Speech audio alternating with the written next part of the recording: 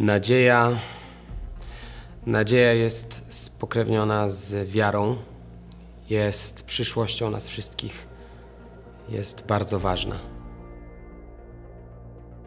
Siłę daje mi światło, siłę daje mi natura i jej piękno.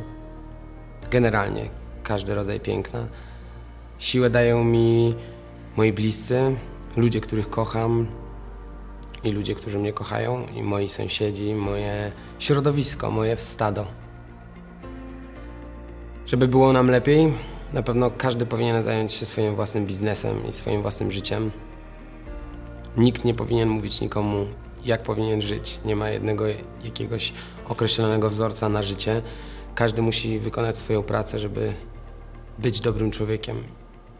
Gdyby każdy zajął się sobą i swoim własnym środowiskiem i poprawą stanu tego, jak żyją twoi sąsiedzi, niemiła pani w sklepie, pani kwieciarka, pani kelnerka w restauracji, w której często si- si- siedzisz, to cała planeta zaczęłaby wyglądać pięknie.